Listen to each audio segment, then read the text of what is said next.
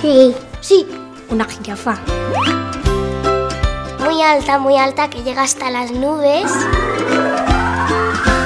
Verde, naranja y marrón. Con barba. Con las orejas muy grandes, volando por el cielo. Enseñarle las cosas a los niños.